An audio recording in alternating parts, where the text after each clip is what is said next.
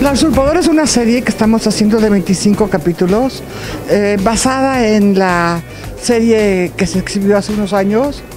Y de aquí estamos tomando la médula, que es unas gemelas separadas al nacer. Una es buena, pues tiene un alma más pura y la otra tiene un alma más oscura.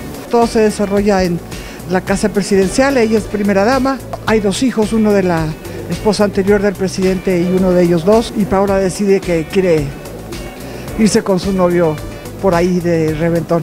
Entonces, bueno, eh, ahí inicia la historia, ¿no? Ah, en el momento que la usurpadora llega de Colombia y toma, o sea, su hermana gemela llega y toma el lugar de, de Paola. Es un clásico, es un clásico revisitado, revisitado en un tono completamente diferente, porque en esta ocasión, pues bueno, tiene un formato de 25 capítulos, la producción pues tiene también otros valores, o sea, finalmente eh, se está trabajando de una manera completamente diferente y el género transmigra al thriller político, todo sucede en altas esferas políticas, entonces eso le da una vuelta muy interesante a la historia.